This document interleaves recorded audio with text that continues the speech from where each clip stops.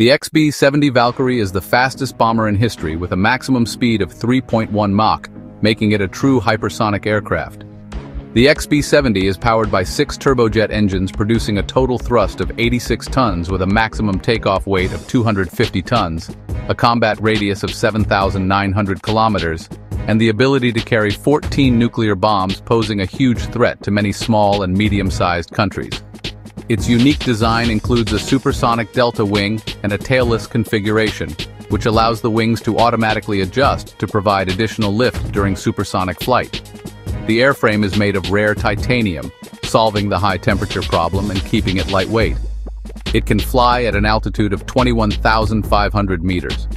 Despite its powerful performance, the Valkyrie bomber had a cost of $800 million, nearly twice the cost of the U.S. Navy's Enterprise nuclear-powered aircraft carrier at the time. It consumes 27 tons of fuel per hour, but it can still carry 14 nuclear bombs, a continuous flight of 10,000 kilometers. Despite these incredible capabilities, only two units were ever produced.